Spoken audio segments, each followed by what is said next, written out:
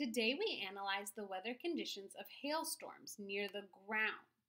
We know that hail is ice, so we were surprised to see that the temperature is so warm during a hailstorm. What do you think we should do next? You're going to go to the seventh grade weather Padlet by clicking here and thinking about what could what questions could we ask next. So we've found out about the weather conditions near the ground where we live. What other things do you think we need to investigate to answer the question how and why does it hail?